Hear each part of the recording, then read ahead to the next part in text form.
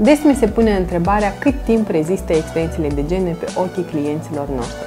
Acest lucru depinde de mai mulți uh, factori. 1. Dacă extensia este aplicată corect, cât de bine este priza între extensie și între geana naturală, un alt factor de asemenea este cât de bine și cum îngrijește clientul aceste extensii de gene și un factor și mai important este uh, cât adeziv se folosește și cu ce adeziv lucrăm.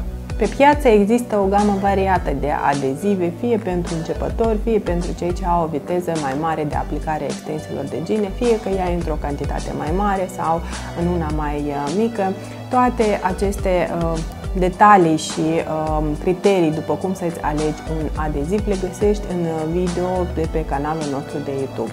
Un rol foarte important îl joacă adezivul cu care lucrăm și cantitatea acestuia pe extensiile de gene. Cantitatea de lipici variază în funcție de cum ieșim cu extensia din picătura de lipici. De asta voi avea nevoie de o picătură de lipici, o pensetă și desigur de extensii de gene pentru a vă demonstra uh, cum uh, ieșim și intrăm corect în picătura de, de lipici.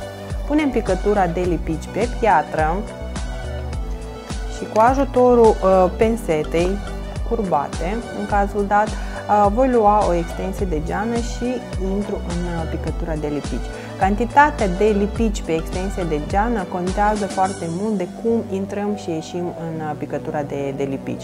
Dacă intru în, uh, într-un punct și ies cu extensie de geană exact în același punct, după cum vedeți, cantitatea de lipici practic este invizibilă. În cazul când intru și ies uh, în uh, alt punct cum am intrat, vedeți că cantitatea de lipici deja e destul de vizibilă și e destul de multă.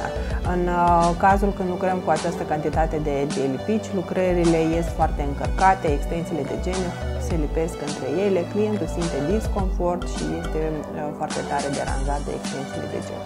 Cu cât este mai groasă extensia de geană, cu atât atrage și absorbe mai mult uh, adeziv.